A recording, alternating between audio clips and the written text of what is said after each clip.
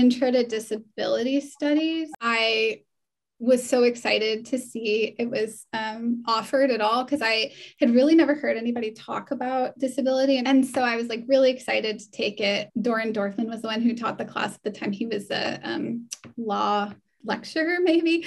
Even as I was reading the first readings, they were really sort of identifying what disability is and talking about like the social model, the medical model, I was like, oh no, this is me. Like uh, this is my entire experience and the experience of many people I know. It gave name to a lot of the like struggle that I had where it often felt like this is a you problem, right? Like you're sick, you're not showing up to work. And my feeling was always, I'm out here trying my absolute hardest. I keep running up against these barriers for a variety of reasons and to just to have a name for that was incredibly meaningful. And you know by the end of that quarter i was like i have to get involved in disability advocacy. I have to do this. So some of the the courses that i developed the the most prominent one is the rhetoric of disability. And this is my fifth year teaching that course. It is my favorite course to teach for for a lot of reasons primarily one because it's the one that's nearest and dearest to my heart in my research but also because I think it's of absolute critical importance to give students the opportunity to learn about disability as a freshman. And I also developed a Power 2 course. That course actually evolved out of something that I began to notice, which is when we look at students or communication, we we say you need to make eye contact. You need to not gesture too much. You need to stand in place. And I was like, these are really ableist terms and these are really ableist criteria. Why do we have to subscribe to those? Like what happens if we explode that and or even flip that? So it really is an invitation for students to explore different forms of oral communication that are non-normative. The Graduate School of Education decided that they wanted to have an initiative on learning differences, and the faculty were part of making that decision. And then they decided to put together a team of faculty members who would pick the most important programs in the country that were doing special ed. They came to Kansas and they then, you know, they met our faculty, they met me. The faculty team that came to Kansas told our dean here at Stanford that he should offer me a job. And so he did. And I told him no. I kept saying, I said, no, no. Well, okay, if I'm not going to get rid of you, what if I, what if we did this? What we wanted to do was to try and build on purpose a shop that had people from really diverse intellectual traditions come together to make our learning differences work truly interdisciplinary and create uh, research projects that demand from all of us learning about each other's disciplines, looking for researchers that were on the cutting edge of their discipline, but wanted to contribute to forging something totally new about learning differences.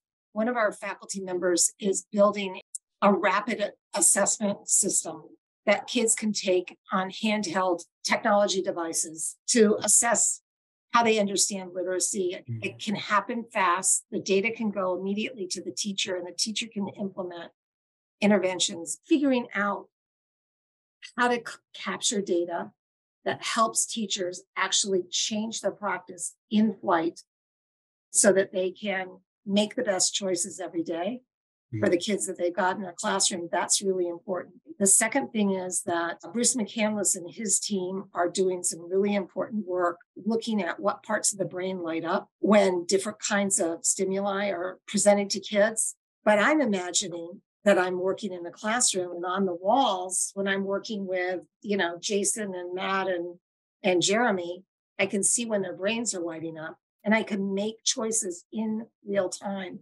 about how I'm going to reorder what I'm doing so that I can optimize what they're doing.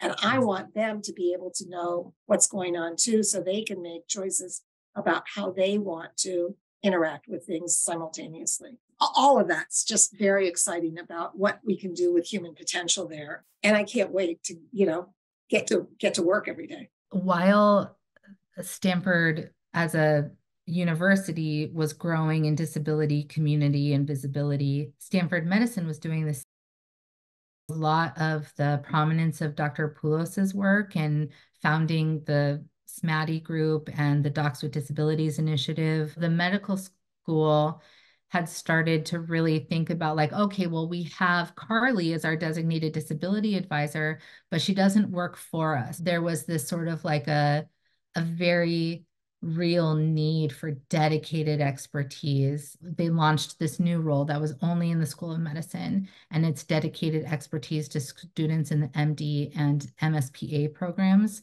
students who have clerkship components of their educational programs. And so we launched in November of 2023 and I I did just that. I started shadowing in clinic and understanding what clerkships are like and what are the specific technical skills of becoming a doctor and what does it mean to then go into residency and training. So I'm going to be presenting at a national conference and introducing uh, the idea of disability inclusion as integral to a learning community model, which means that we are looking at medical education from start to finish and as a community of learners. So going from preclinical coursework to practicum to transitioning to clerkship to entering residency training and how there is access and inclusion throughout every phase. And, and so I, I am really excited to introduce this new work that I'm doing um, at the national level in September.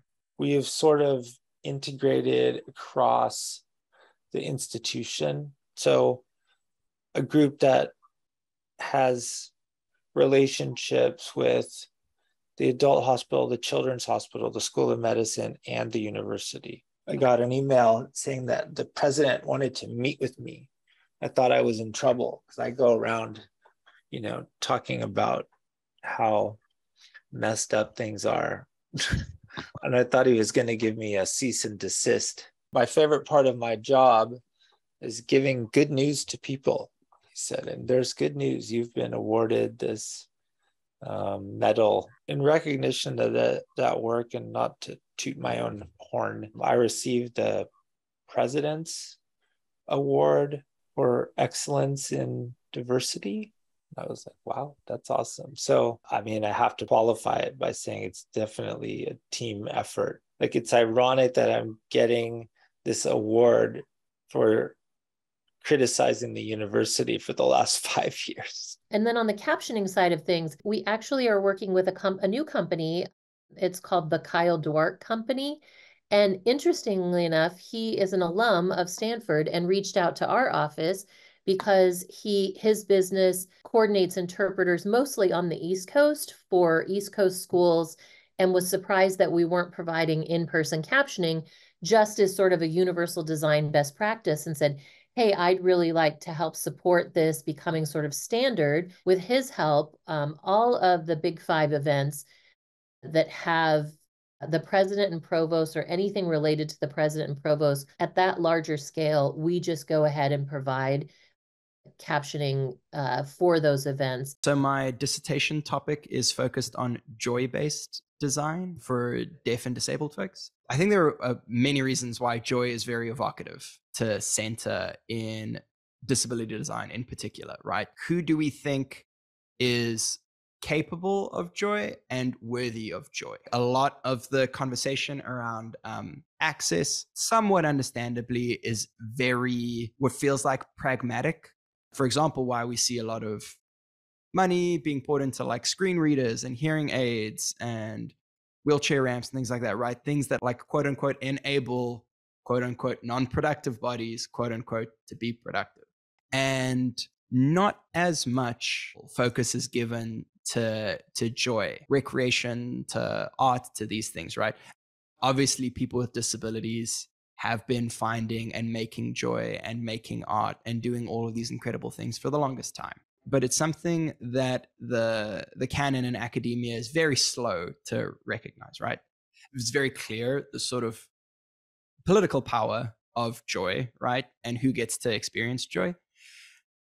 And then on the other hand right it is it is joyful. It is really fun to be to be doing this stuff